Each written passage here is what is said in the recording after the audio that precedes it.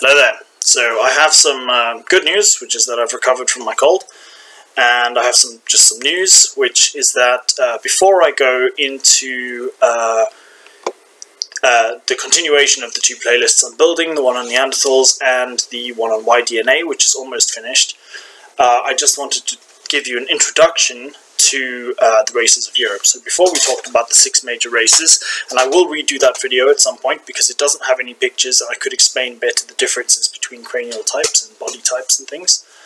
Um, but now I want to talk a little bit about uh, the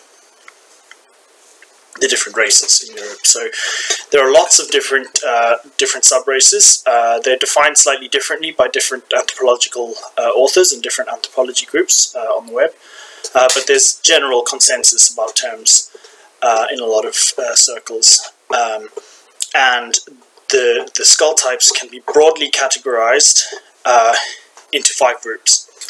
Uh, two, three, two, two dolichocephalic, Nordids and Mediterraneans, with a tendency towards mesocephaly in the current population. Again, I explained these terms before. Uh, dolichocephaly is long skull, um, like mine, you can see uh, my skull is not uh, is is quite narrow compared to its its length. And then mesocephal is in between. Brachycephal is uh, short, so uh, the the length is uh, relatively speaking short compared to the width. The width is high.